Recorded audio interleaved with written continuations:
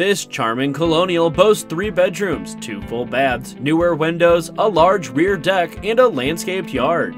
Anne Kennedy has the keys to your new home. Call today.